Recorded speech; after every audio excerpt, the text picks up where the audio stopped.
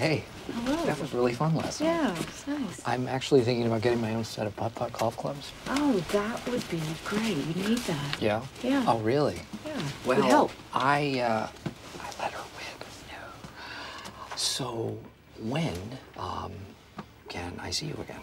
Um, tonight. Free tonight. Is that too eager?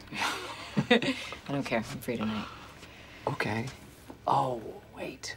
Oh, tonight's no good because I am busy taking you out. Oh, I just remembered. I can't tonight. Why? I'm going out with you. Wow.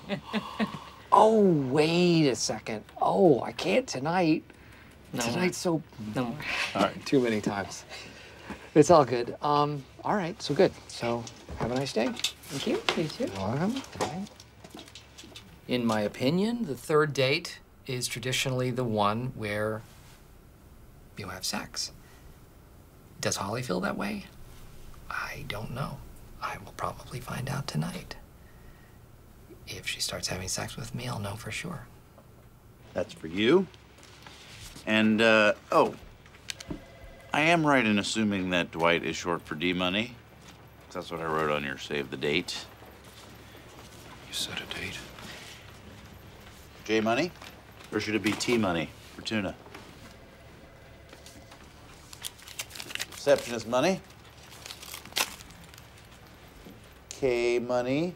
I am going to run three possible date ideas by you, and I want you to tell me which one gets your blood percolating. Oh, I'm sure they're all great. I have two sure things, one wild card. Let's start with the wild card. Okay? Mm-hmm. The wild card is dinner at a nice restaurant. Uh-oh. Exactly. Here, here are my sure things. I blindfold her. I take her to the Houdini Museum.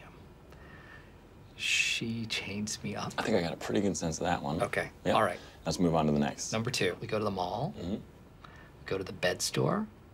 I let her choose whatever bed she wants. I like the wild card. Really? Mm-hmm. I don't know. Everybody goes to restaurants. Yeah, call me old-fashioned. I've set the bar high. It's a big third date, Jim. What do I do? Have you asked her what she wants to do? Well, I thought as the man that I should make the decision. No, you got that backwards.